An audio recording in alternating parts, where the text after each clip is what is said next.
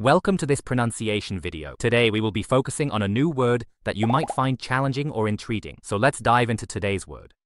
Kometsubu, which means grain of rice in Japanese. Let's say it all together. Kometsubu. Kometsubu. Kometsubu. One more time. Kometsubu. Kometsubu. Kometsubu. Thank you for joining us on this adventure in pronunciation. Remember, language is a journey, not a destination. Keep exploring, experimenting, and expanding your linguistic horizons. We'll see you next time.